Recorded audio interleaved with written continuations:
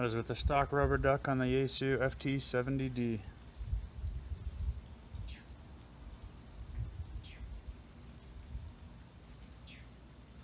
Not a perfect picture, but decent.